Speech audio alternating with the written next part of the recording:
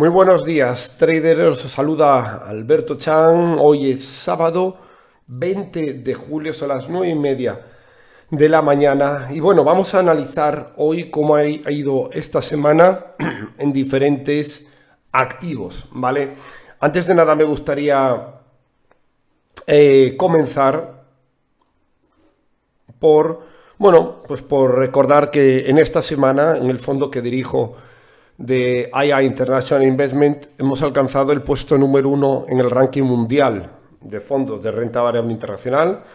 Eh, en rentabilidad llevamos un 32% en lo que vaya de, este año y lo más importante, bueno, que a medida que vayamos actualizando, esto probablemente siga subiendo, ¿vale? Al fin y al cabo es algo anecdótico el, el puesto, el de estar primero, quinto, tal, pero es verdad que, que cuando se llega a ese primer puesto, pues bueno, eh, es un reconocimiento de alguna manera al, buen trabajo desarrollado en el, trading, con las acciones, con las opciones, con los futuros, etcétera.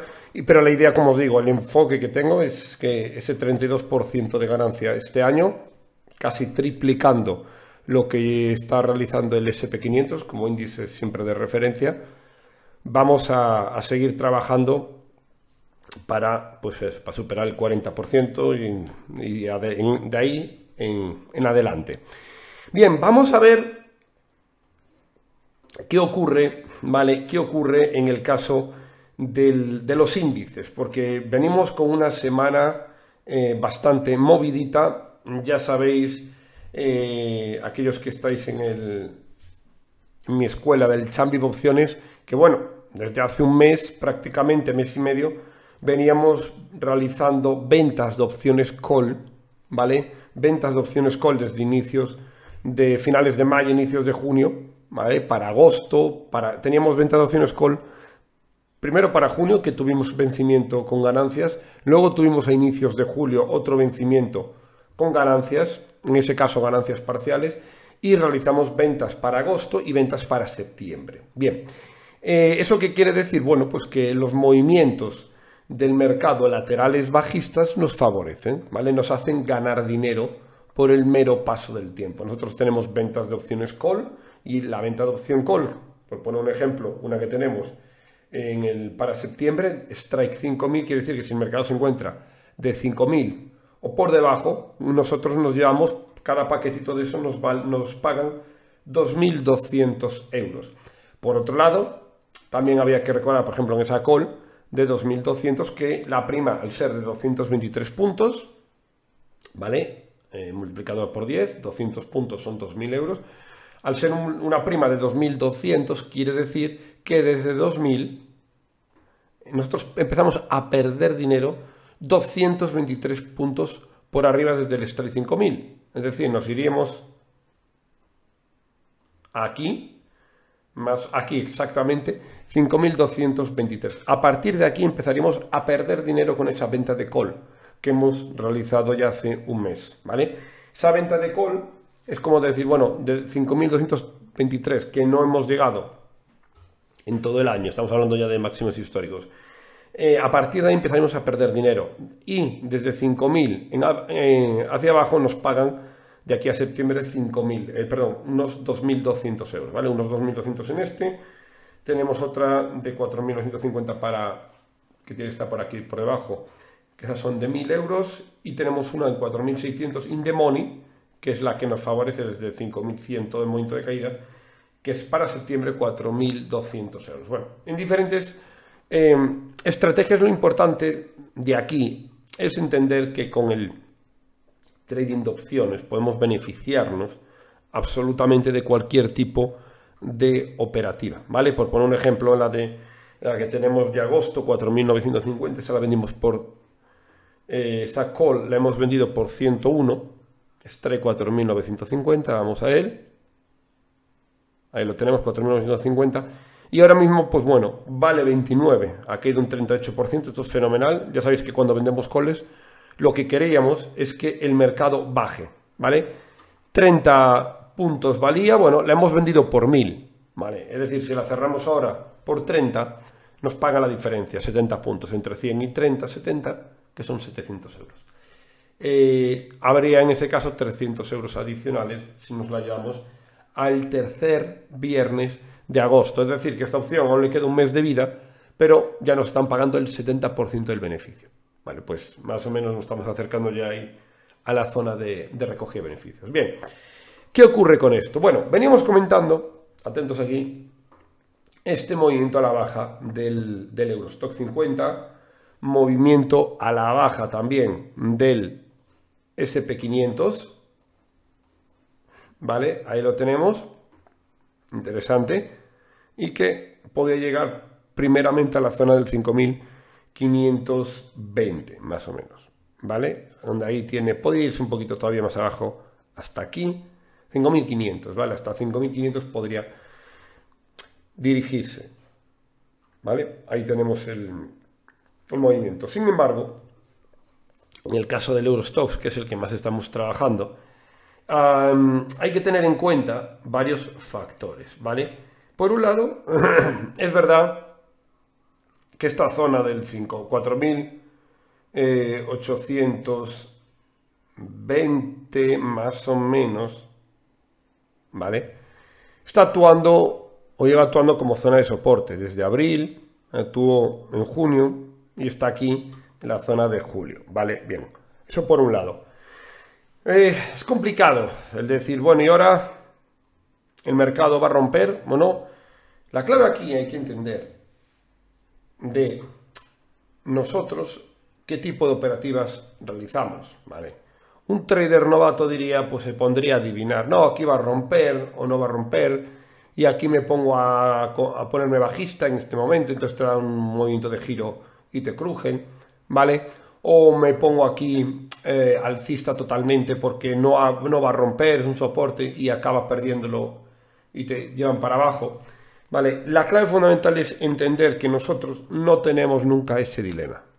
Vale, todos los alumnos que pertenecéis al grupo del Xavi Bocines entendéis que la estrategia no está en adivinar el mercado, sino en descartar lo poco probable. Nosotros hace un mes y pico ya descartamos que lo poco probable, el movimiento menos probable era un fuerte movimiento alcista en las bolsas, en el caso del Eurostox, entre la zona del 5050 a 5100, ¿vale? En esta zona descartamos cualquier tipo de movimiento alcista. ¿Y qué hicimos ahí? Bueno, pues empezar a vender coles a junio, a julio, a agosto y a septiembre. Cuatro meses, ¿vale? Los dos primeros meses ya hemos ganado dinero por ello en el vencimiento de agosto y septiembre, ahora mismo, aún podríamos ahora recoger ya beneficios, en torno al 60, 70% del beneficio potencial. Vale, lo iremos viendo esto en los próximos días. Ahora mismo, esta zona, ¿qué nos dice? Bueno, estamos en las bandas de Bollinger, ¿vale? En la línea 2, la línea 3. Y es verdad que cuando llegamos aquí, ¿eh? el mercado pues tiene cierto grado de sobreventa y podemos tener cierto rebote. Eso no quiere decir que aunque pudiera, pudiéramos tener cierto rebote a corto plazo, eso no quiere decir que no podamos seguir bajando, eh, cuidado, ¿vale? Eso hay que tenerlo bastante, bastante en cuenta. Sin embargo, si nos vamos al Skew Metric del SP, mm, aquí, al igual que estábamos advirtiendo, ¿vale? Os venía comentando hace un mes, dos, mes y medio, que había que estar lateral bajista en las bolsas. ¿Por qué? Porque a medida que el mercado subía, aquí había una distribución, sobre todo este último tramo final del SP, había una distribución del DIX y el HEX estaba muy alto y veníamos comentando, va a venir un pequeño susto en las bolsas, ¿vale? Pues bueno, desde que lo dijimos, ¿vale? Que esto era por el 10 de julio, cuando estamos aquí, ¿eh? prácticamente 10 días, pum, para abajo, movimiento a la baja. Ahora bien, dicho esto, también ahora se ha producido un movimiento muy claro en el SP que me favorece mucho. El HEX, la gama, ha bajado. ¿Vale? Ha bajado. No es que esté a niveles muy bajos, ¿vale? Pero bueno, se ha relajado bastante y esto quiere decir, bueno, que el mercado ahora ya es menos asustadizo y eso nos gusta, ¿vale? Por otro lado, el DIX las manos fuertes han comprado, pero han comprado, fijaros bien, ¿eh? aquí estaban soltando y fijaros bien que en esta caída última, ayer, anteayer compraron y ayer ¿vale? 19 volvieron a comprar, ayer viernes 19 de julio volvieron a comprar fuertemente. Entonces esto nos está diciendo que, bueno, mm, yo creo que va a venir un movimiento fuerte a la baja, claro que sí. Ahora, que ese movimiento fuerte a la baja eh, tiene que venir necesariamente ya. Bueno, no lo creo. Yo creo que, había, que tendría que venir así un susto. Movimiento correctivo en el verano, bueno, que ya está llegando. Vale, no es habitual, ya os digo, ver por ejemplo en el Eurostock 50 un lunes, un martes, un miércoles, un jueves y un viernes consecutivos de bajada, que en una semana, fijaros bien, hemos ido de la parte alta donde los mercados estaban hablando de si rompían resistencias a ver si aguantan los soportes. Entonces, esto hay que tenerlo muy en cuenta porque el mercado es muy pillo en esto. Nosotros en esto nos beneficiamos enormemente. Vale, ¿qué ocurre? ¿Dónde puede venir eh, la supertraca final de los mercados? Obviamente después de las elecciones de, Donald Trump y Joe Biden. ¿vale? O al menos de Donald Trump, ¿vale? Joe Biden, vamos a ver si, se mantiene o no. Bueno, si se mantuviera, pues bueno, para mí, desde mi punto de vista, mucho mejor porque estaría muy claro quién puede ser ya el, ganador de ahí, ¿vale? A Trump lo da súper favorito en este caso, pero en el caso de Joe Biden, que está a ver si se mantiene o no a, a ir a las elecciones, pues bueno, pero hasta ahí que es noviembre, ¿vale? aunque era tramo. Yo ahora considero que el mercado sí que podríamos tener, hemos tenido un susto, pero sí que podemos tener un pequeño rebote en el mercado, ¿vale? Eh, hasta otra vez, hasta inicios de eh, agosto, por aquí, algo así, para mediados de agosto, ¿vale? Mediados de agosto, septiembre, que el mercado ahí suele reaccionar mal. Movimiento a la baja. Hay que tener en cuenta aquí que los meses de alta volatilidad en los mercados son septiembre y octubre. Septiembre y octubre, no nos olvidemos esto, ¿vale? En agosto, normalmente, las bolsas tienden, ¿vale? Finales de julio, inicio de agosto, las bolsas tienden a, marcar mínimos de volatilidades. ¿Vale? Es, verdad que obviamente con esta bajada, y esto de hecho es una cosa de las que estamos aprovechando, la volatilidad ha tenido un repunte. Pero es probable que yo veo más un movimiento similar a esto. ¿eh? Un pequeño rebote. Ahora otra vez para luego posteriormente, más tirando a mediados de agosto, la segunda quincena de agosto. ¿eh? Sobre todo tener en cuenta que eh, faltaría la tercera hora bruja del año, ¿vale? El 20 de septiembre. El tercer viernes de septiembre es el clave. Este. Entonces yo creo que ahora, desde los niveles, ya tuvimos aquí un susto en julio que esperábamos, Quiero ver a qué podría venir estas dos primeras semanas de agosto, un poquito, la última de julio, la primera de agosto, un poquito más o menos relajado. Ya, porque ya se exprimió aquí lo que iba a ser, de alguna manera, que puede seguir bajando, ¿eh? pero eh, el movimiento a la baja que se tenía que dar ya se está dando en gran medida.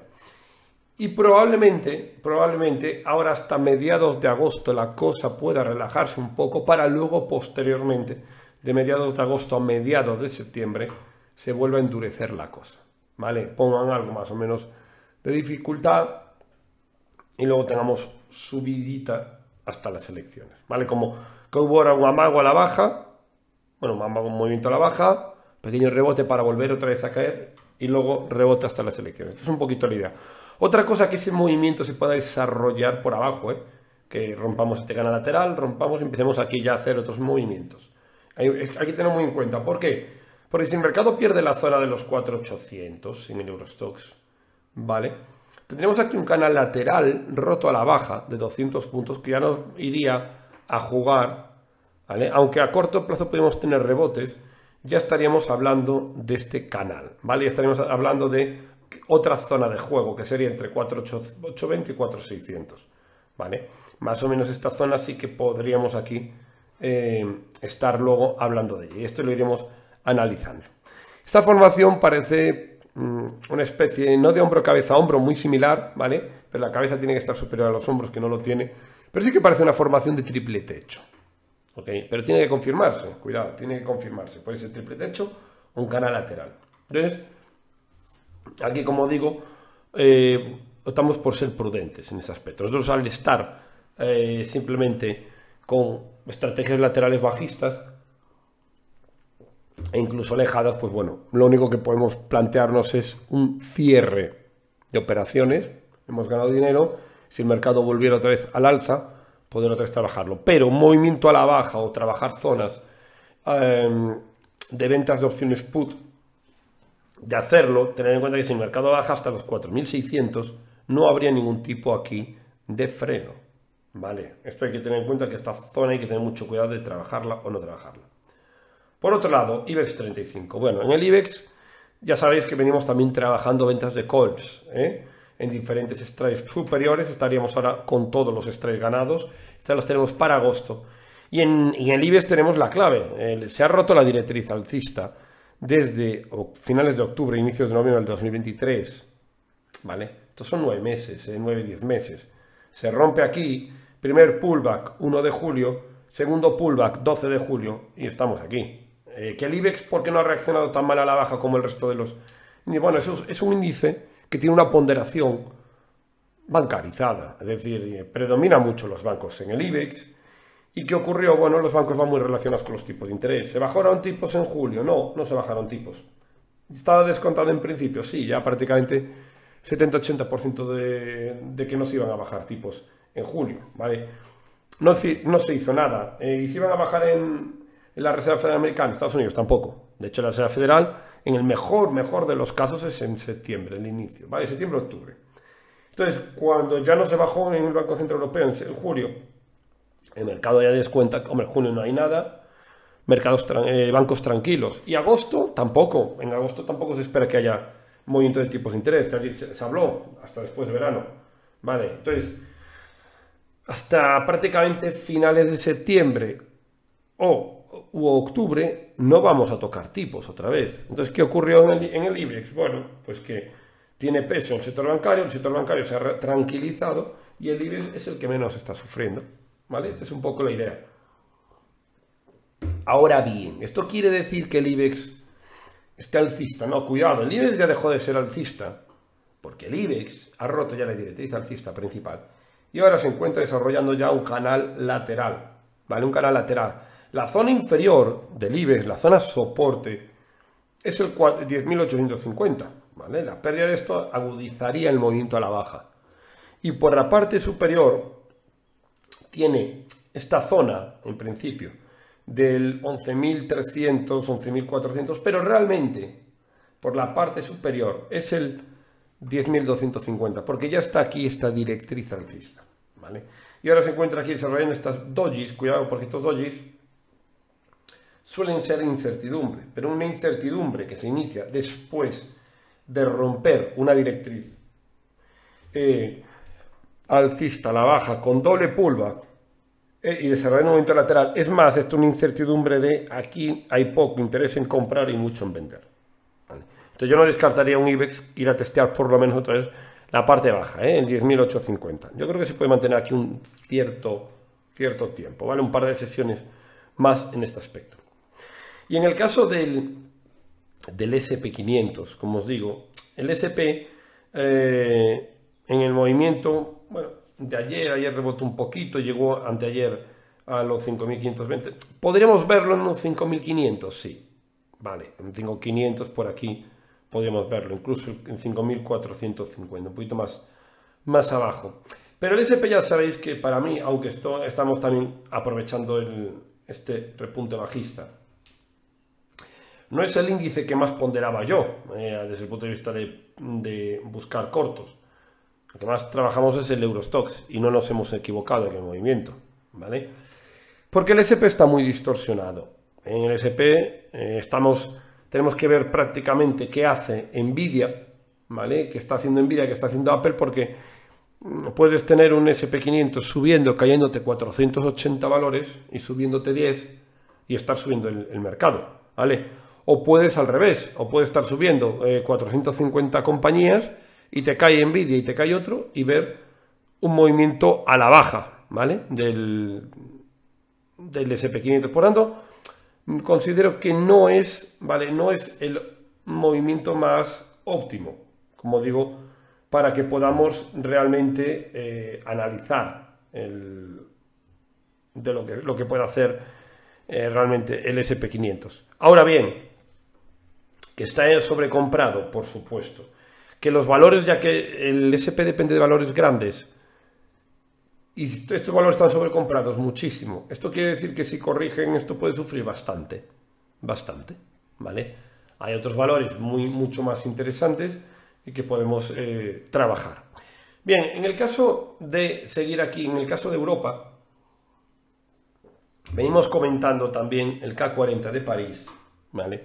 Y el K40 de París empieza aquí a consolidar soportes. ¿eh? Desde que hubo las elecciones europeas, cuando Macron convocó elecciones y todo eso, bueno, el mercado fue bajando.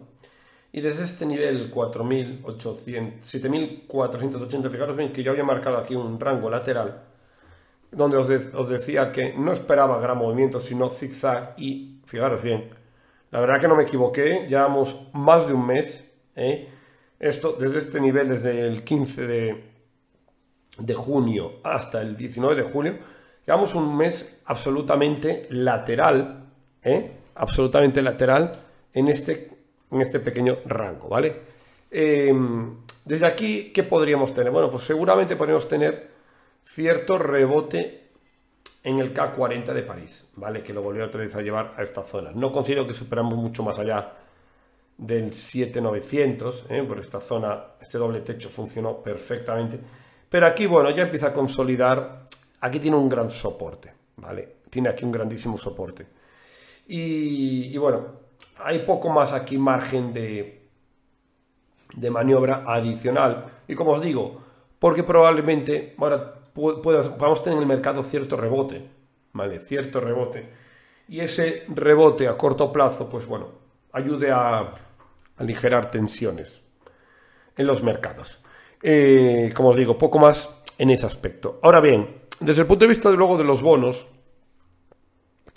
ya sabéis que el pasado mes de junio trabajamos una operativa muy interesante en los bonos, aprovechando este rebote alcista que nos dio gran rentabilidad con las coles de, trabajadas. Volvió el mercado a la baja, pero no volvió a la zona de soporte, lo cual no nos permitió realmente eh, trabajar aquí un nuevo posicionamiento alcista. ¿vale? Esperábamos aquí un ataque a la zona de los 130, 129 y pico. No llegó, el mercado se fue para arriba. Luego hubo cierto enfriamiento cuando no hubo bajada de tipos, que lo habíamos comentando. también os dije que no, iba ni a trabajar esto, porque el mercado ya estaba en la zona.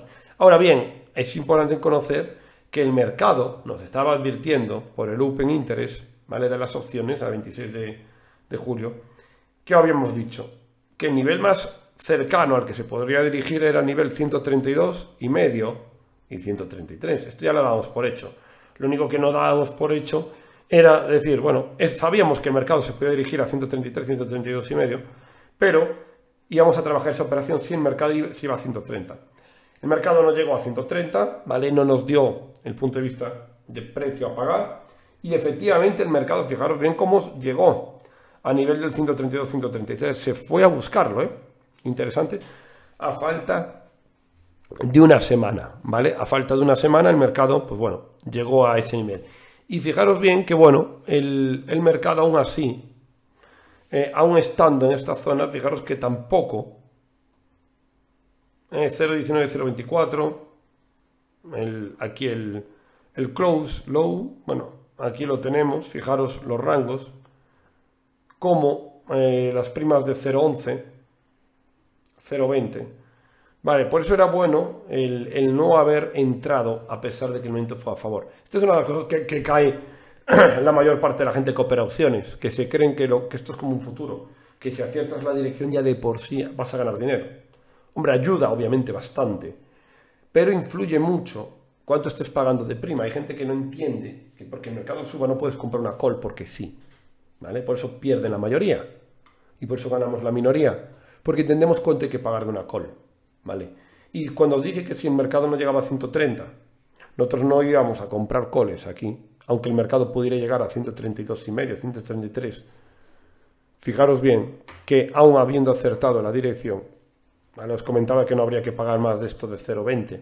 Pues fijaros, aún si hubiéramos comprado, ¿vale? Aún habiendo acertado estaríamos prácticamente igual o con una ligerísima ganancia, aún habiendo acertado esto. Cuando en otro movimiento, cuando lo habíamos hecho en junio, habíamos pagado primas de 0,15, 0,19 y las habíamos soltado a 0,50, 0,60, 0,70. Entonces, claro, la diferencia ahí está cuando puedes sacar un 300, 400% de rentabilidad. No cuando aún comprando aciertas la dirección y estás prácticamente, en el mejor de los casos, en break-even. ¿Vale? Esto no es. ¿Vale? Eh, poco más hay en esto, ¿vale? Ahora, si el mercado vuelve otra vez a esta zona, sin duda, en, la escuela del Xavi de Opciones compartiré operativa, ¿vale? Que voy a realizar yo personalmente, ya sabéis, eh, que no es una señal de compra y venta, es algo que yo siempre comparto ahí, lo que hago y explico por qué lo hago yo, porque mi forma de hacer trading y considero que la mejor forma de enseñar a todos mis alumnos que estéis en la escuela cómo se hace trading real es que me veáis haciendo trading real, en tiempo real. Y que entendáis por qué a veces no hago una operación, ¿vale? Intentáis luego a toro pasado qué ha ocurrido, porque obviamente decir todo el mundo a toro pasado cómo había que haber eh, hecho, eh, a mí me hace gracia cuando se ven estos consultorios bursátiles de, en radio y en internet que llama a la gente, eh, oye, tengo esta acción, quiero comprar, y te viene el analista de, de turno diciendo que bueno, aquí había que haber salido, aquí había que haber comprado, y hombre, con el gráfico eh, ya a toro pasado muy bien, ¿vale? O solo te dicen si un valor sube, compra, compra y compra. Eh, ahora luego ese valor de compra te viene un 20% abajo, no, bueno, sí, hay que, hay que haberse salido antes entonces. Es decir, que van dando palos de ciego, ¿vale? No se enteran absolutamente de, nada y se, las van comiendo dobladas. Entonces, para tener en cuenta esto, no solo es acertar dirección del mercado, hay que tener en cuenta una estrategia muy sólida de lo que hay que hacer. ¿vale? Y yo ya sé, por ejemplo, de aquí a antemano, de aquí a agosto, qué voy a hacer y dónde voy a trabajar el Bund. Y lo habíamos comentando cuando lo comenté este mes con mis alumnos, y sois conscientes de ellos, que en junio trabajamos la zona y nos fue muy bien. Y en julio os dije cuál es la zona de trabajo. Y se quedó cerca y no llegó y no lo trabajamos. ¿Vale? Y aún os dije, y es probable que lleguemos ahí porque lo estábamos viendo en el Open Interest. ¿Vale? Esta es una información brutal, ese aspecto. Y en el caso, por ejemplo, de la volatilidad, ¿eh? de la volatilidad del, del Eurostox, ¿vale? Me fijo una cosa importante para agosto, es la volatilidad del Eurostox, 21 de agosto. Es decir, de aquí a un mes. Me llama la atención una cosa curiosa, ¿vale? La volatilidad ha subido, ¿eh? obviamente con estas caídas, sobre todo esta última semana, y está ahora mismo la volatilidad de agosto en 16, ¿vale? Nivel de 16.20, está por aquí, este es el at pero yo miro para arriba, 17, 18, y no veo mucho open interest, no veo mucho interés comprador de calls, ¿vale? Como estamos acostumbrados. Esto me hace ver una idea, ¿vale? Aquí hay uno de 23, bueno, pero por aquí hay ausente, a lo máximo 20, pero no veo un interés excesivamente comprador. Sin embargo, si me voy al open interest de puts, de que baja la volatilidad, ya sabéis lo que ocurre cuando baja la volatilidad, ¿no? Las bolsas suben. Pues me llama la atención que a 14, y estamos en 16 y pico, ¿vale? Pero ya a 14 y media hay 21.000, ¿vale? A 14 hay, strike 14 hay 14.000. Y a 13, straight 13, hay 60.000 puts. 60.000 puts compradas. A strike 13. Esto quiere decir que, bueno, calculan el mercado que el mercado puede bajar a 13. Si baja la volatilidad, de aquí al 21 de agosto, ¿qué puede ocurrir con las bolsas? Es un rebote. Bueno, pues esto nos puede dar una, una idea de qué puede ocurrir aquí. ¿eh? De que podemos seguramente tener un patrón similar al que tuvimos aquí exactamente a mediados de julio y exactamente porque sabéis lo que ocurrió en junio. ¿Eh? Aquí más o menos, cuando ya se dan los vencimientos de opciones, pum, pum, pum, pum, pum, pum, pum, el mercado rebotó. El mercado rebotó. Y exactamente aquí también, por abril, tercer viernes, vencimiento de opciones, pum, el mercado rebota. Entonces, bueno, vamos viendo ciertos patrones. Y ahora aquí, ¿qué hemos tenido ya esta semana?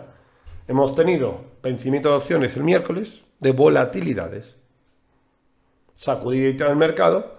Viernes, vencimiento de opciones sobre índices. Sacudida del mercado, ¿vale? Que puede ser la sacudida, ya sabéis que en índices puede durar del viernes al lunes. ¿eh? Podemos el lunes igual abrir ligeramente a la baja y giro, etcétera. Pero la idea fundamental es que viendo esto, pues bueno, a mí me llama la atención eso de que podríamos tener aquí cierto movimiento, ¿de acuerdo? Podríamos tener cierto movimiento al alza, relajamiento ahora mismo de los, de los mercados. Bueno, cositas interesantes, ¿de acuerdo? Cositas interesantes eh, en ese aspecto. Entonces, bueno, esto hay que tenerlo bastante en cuenta.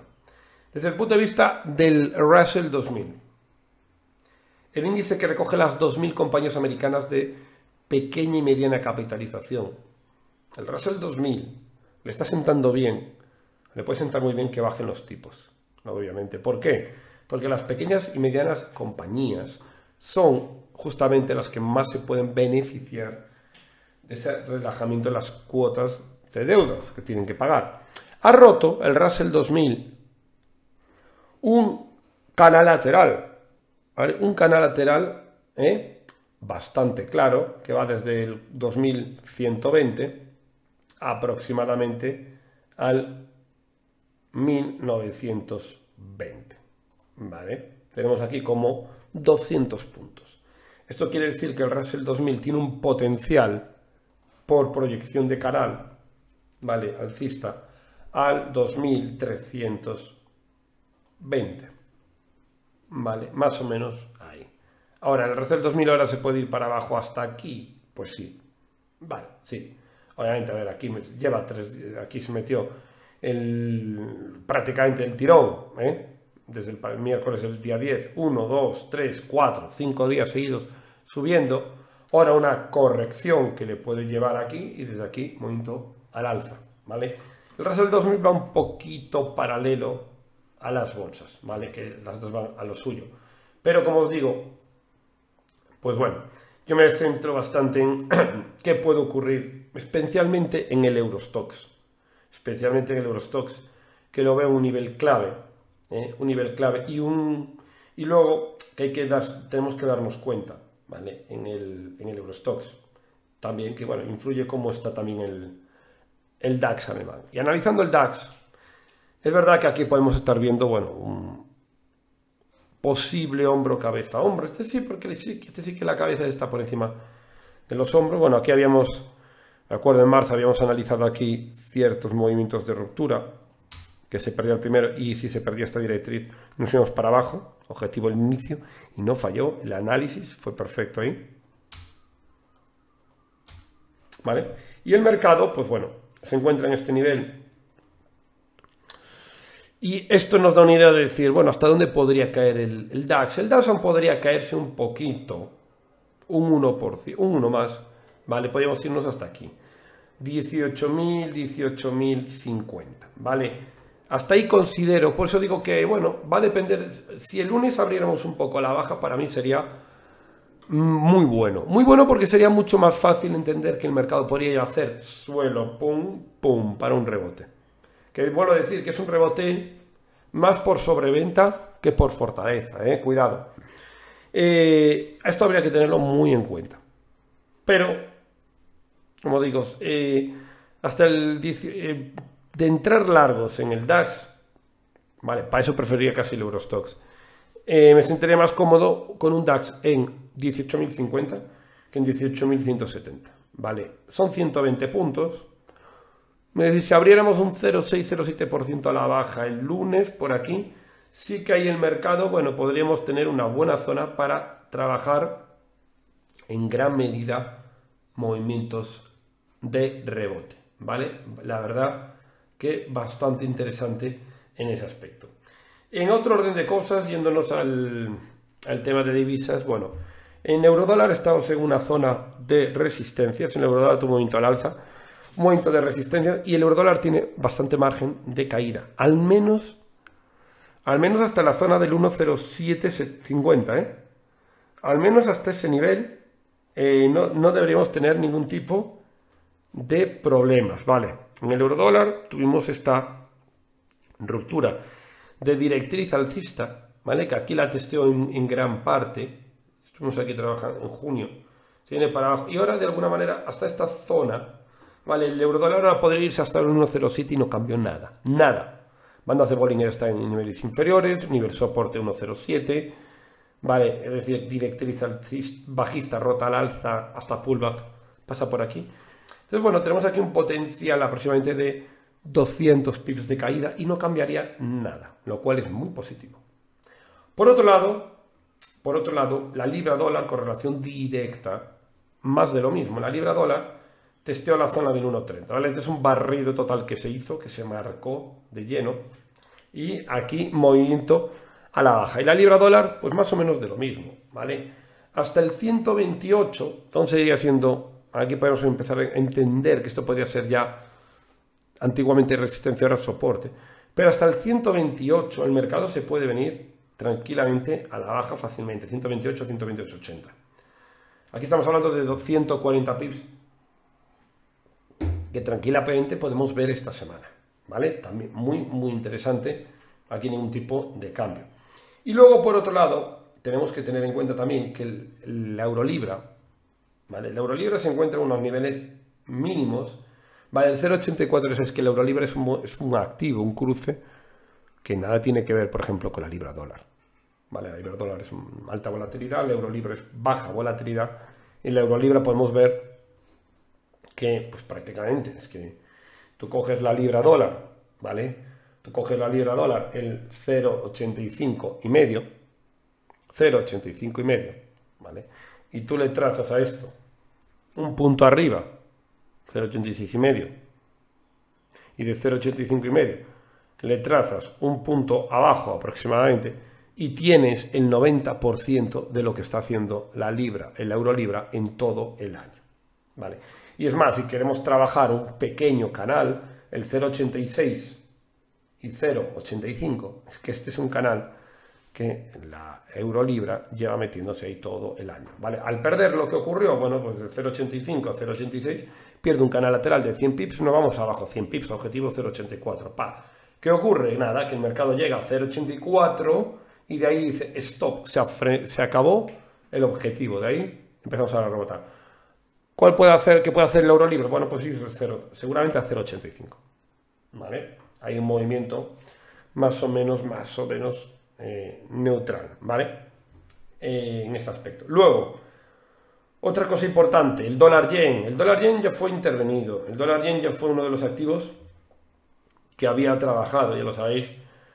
Eh, lo estuve trabajando en diferentes activos, en el fondo también. Y lo trabajamos también en el Champion Opciones y nos beneficiamos mucho de este movimiento. ¿vale? El dólar yen llegó aquí a la zona del 0, eh, del 156, ¿vale? llegó incluso el 0,55 y pico, 156, perdón y el 156, pues bueno, ya hubo un movimiento de sobreventa. ¿vale? Ahora, eh, ¿qué está realizando el dólar, el dólar yen? Hombre, cierto rebote, cierto rebote a corto plazo. ¿Vale? Cierto rebote a corto plazo.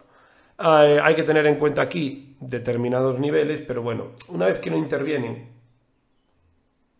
una vez que lo intervienen, el mercado empieza a hacer este movimiento de pum, bajamos, subimos a la baja, testeamos ya mínimo y aquí ya sí que puede volver otra vez. Yo no descarto que el dólar yen ¿eh? mm, desde aquí lance un movimiento de ataque. ¿vale? Yo no creo que va a haber algo similar a esto. Es decir, que cuando intervino el, el Banco de Japón anteriormente en la zona de 158, 159, lo intervino, lo lanzó para abajo. Luego volvió otra vez el mercado ¿eh? para arriba, otra vez a testear esta zona. Y yo no descarto que desde aquí, aunque es verdad que el 160 aquí ya le van a controlar bien, pero no descarto que no, le vuelvan otra vez a, a ver un intento, al menos hasta el 160. ¿Vale? Hasta ahí. Entonces, bueno, ahí podemos tener, ahora mismo, mm, yo no estaría corto, ya os lo digo así, igual que estuve corto aquí, muy claro, ahora no estaría corto bajo ningún concepto. Hay mucha zona aquí de soporte y el mercado hasta el 160 de 160 para arriba le podría otra vez volver a dar eh, caña bajista, pero hasta el 160 tiene margen, ¿vale? Y si nos vamos tanto el, el dólar yen, ¿vale? Como todos los cruces, eh, voy a sacar este dólar yen, lo tengo repe, y mm, hasta ese cruce también podemos irnos a la libra yen, ¿eh? Que la libra yen, pues mira, también tuvo este movimiento a la baja, en este aspecto. No hay, aquí no se intervino de una manera tan, tan drástica, y esto es por correlación, simplemente se atacó especialmente el dólar contra el yen, ¿vale? Y en el caso del euro contra el yen, exactamente igual. Llegó una zona antiguamente, nivel de resistencia, posteriormente soporte, y estamos ahí, ¿vale? Entonces, pues bueno, yo creo que cuando le dan para abajo aquí tendrán, seguramente haya otra vez otro ligero ataque, ¿vale? O más o menos lateral. Yo aquí no entraría en nada, ¿eh? Ni, largos ni cortos en el euro yen. En dólar yen le veo más movimiento, pero lo que viene a ser el, resto de los activos, pues bueno, no veo, no veo gran cosa. ¿vale? Y lo que os comentaba antes aquí del, del SP500, es que el SP500 se mueve con esto, Nvidia, ahí lo tenéis, ¿vale? después del split. Nvidia, ¿qué está teniendo? Bueno, pues Nvidia está desarrollando, creo que puede estar desarrollando un triángulo descendente. ¿vale? De máximos decrecientes y mínimos al mismo nivel. Creo que Nvidia puede estar desarrollando este movimiento. Y esto se tiende a romper en dos tercios, es decir, esto se tiende a romper por aquí. ¿Qué ocurre? Claro que si Nvidia ahora se mete en este posible nivel de subo, bajo, ¿vale? Sustito de, en junio, subo, subo otra vez el SP, bajo, sustito en el SP, y toco ahora la banda de Bollinger inferior. Es decir, era más probable aquí bajar que aquí. ¿Qué, quiere ocurrir, ¿Qué puede ocurrir ahora? Hombre, pues podría volver otra vez a rebotar hasta la zona del 130. ¿Vale? 130 más o menos. Y luego volver a bajar. Ya por aquí, ¿eh? que mira, justamente, fijaros bien por dónde me da, que os había comentado yo al inicio de este comunitario, que de mediados de julio a mediados de agosto pues tras el momento de la baja un poquito de las bolsas puede venir ahí un pequeño rebote, ¿vale? Pero ya a mediados de agosto en adelante la volatilidad tiende a repuntar bastante para septiembre. Y teniendo en cuenta que el tercer viernes de septiembre es hora bruja, ¿vale? Entonces, de tercer, de mediados de agosto a mediados de septiembre, bueno, yo por ahí veo la cosita un poco de sustito de verdad. Estamos, yo creo que esta semana que hubo en Europa, lo veo un susto mm, de nivel del 1, 2, 3, nivel 1, ¿vale? Nivel 1.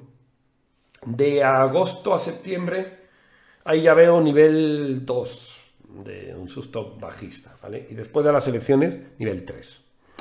Entonces, ahora mismo, si, seguimos este transcurso, subida y bajada, subida menor y bajada al mismo nivel, subida, faltaría y bajada, ya tienes un patrón para aquí en la tercera que todos los novatos entren en la compra y lo hundan para abajo. ¿Vale? Cuidado con esto porque ahí está el movimiento maestro que se suele dar en muchas, muchas ocasiones. Vale. Bueno, em, poco más, ¿vale? Eh, ya sabéis que seguimos en mi escuela gmail.com y que bueno, vamos a abrir plazas para aquellos que os vais a incorporar en el mes de agosto porque realmente vienen muchísimas oportunidades para trabajar en el mes de agosto a septiembre y la vamos a intentar aprovechar absolutamente todas las que podamos con el trading de opciones, ¿vale? Sobre todo y seguir aprendiendo con todo ello. Y recordad que bueno, que todo lo que enseño y transmito en mi escuela, ¿vale?